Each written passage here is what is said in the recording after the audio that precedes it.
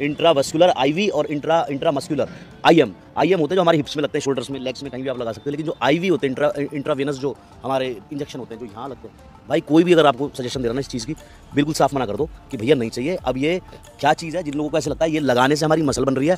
मैं तुम लोगों को एक चीज़ क्लियर कर दूँ जो एम पे जो टर्मिन है इसका इससे मसल का कोई लेना देना नहीं है। दिस इज़ अ सिंपल नशा।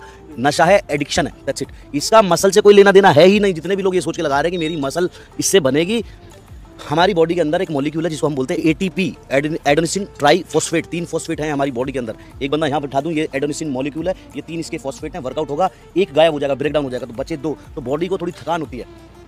एम्प एडोनिसिन मोनोफॉस्फेट एक एडोनिसिन मॉलिक्यूल और एक फॉस्फेट मॉलिक्यूल एक खराब हुआ, हल्का सा थका, तीन फिर दोबारा हो गए। तो एम्प जो आपने लगाया, वो आपको सिवाय एनर्जी देने के कुछ नहीं करता। जिन लोगों को ये लगता है कि हमको इससे मसल्स हमारी बन रही है मसल नहीं बनती है, मैं आपको चीज़ बताऊँ।